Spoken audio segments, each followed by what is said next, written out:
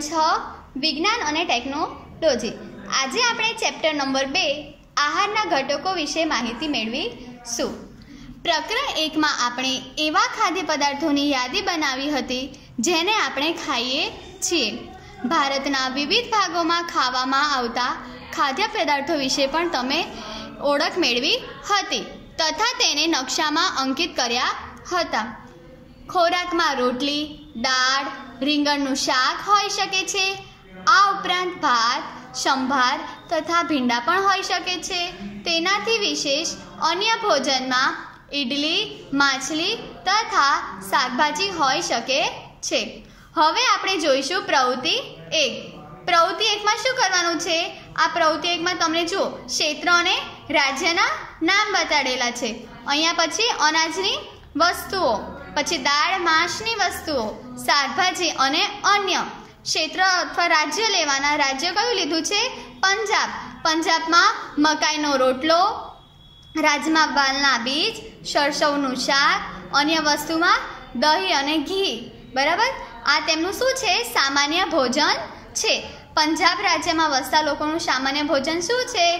તો શું આવશે? મકાઈનો રોટલો રાજમા વાલના બીજ, સરસવનું શાક અને અન્ય વસ્તુમાં શું લે છે તે લોકો? દહીં અને ઘી લે છે. પછી આંધ્રપ્રદેશ. આંધ્રપ્રદેશમાં અનાજની વસ્તુઓમાં શું આવશે? ભાત. દાળ માંસની વસ્તુઓમાં તુવેર દાળ અને રસમ. શાકભાજીમાં કંદૂર, એટલે કે ટીંડોળા. અને અન્ય વસ્તુમાં તે લોકો શું લે છે? તો છાશ, ઘી અને અથાણું. પછી લઈશું આપણું પોતાનું રાજ્ય, એટલે કે ગુજરાત. ગુજરાતમાં અનાજની વસ્તુમાં શું લઈએ છીએ.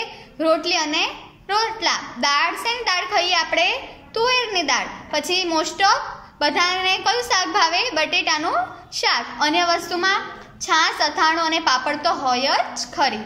બરાબર? હવે જોઈશું આપણે વિભિન્ન પ્રકારના ખાદ્ય પદાર્થમાં શું હોય છે? આ બધી પ્રવૃત્તિ એકની જ માહિતી આપેલી છે, બરાબર? હવે વિભિન્ન પ્રકારના ખાદ્ય પદાર્થોમાં શું હોય છે?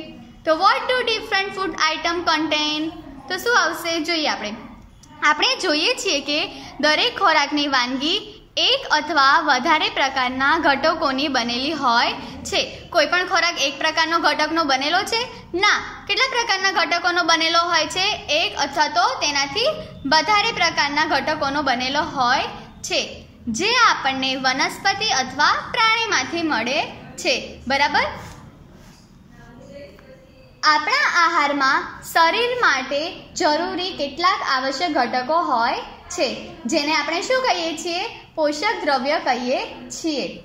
આપણા આહારના મુખ્ય પોષક દ્રવ્યો કાર્બોદિત, પ્રોટીન, ચરબી, વિટામિન તથા ખનિજસાર છે. બરાબર? આ ઉપરાંત આહારમાં પાચક રેસાઓ તથા પાણી પણ સામેલ હોય છે. પોષક દ્રવ્ય કોને કહેવામાં આવે છે?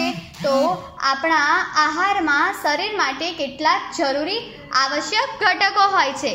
તેને શું કહેવામાં આવે છે? પોષક દ્રવ્ય કહેવામાં આવે છે. તો આ મુખ્ય ઘટકો કયા છે? તો કાર્બોદિત, પ્રોટીન, ચરબી, વિટામિન તથા ખનિજ ક્ષાર છે. આ તમારે ઘટકોના નામ યાદ રાખવાના રહેશે, બરાબર? આ ઘટકોના નામ તમારે ધોરણ સાતમાં પણ આવશે, ધોરણ આઠમાં પણ આવશે, બરાબર? જેની આપણા શરીરને આવશ્યકતા હોય છે. બરાબર? શું બધા ખાદ્ય પદાર્થો આ પોષક દ્રવ્ય ધરાવે છે?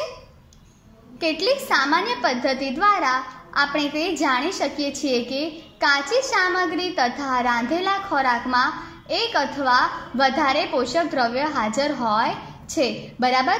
કેટલીક સામાન્ય પદ્ધતિ દ્વારા આપણે જાણી શકીએ કે કાચી સામગ્રી તથા રાંધેલા ખોરાકમાં એક અથવા વધારે પોષક દ્રવ્ય હાજર હોય છે. હવે જુઓ, કાર્બોદિત, પ્રોટીન તથા ચરબીના પરીક્ષણથી અન્ય પોષક દ્રવ્યોના પરીક્ષણની સરખામણીમાં સરળ છે.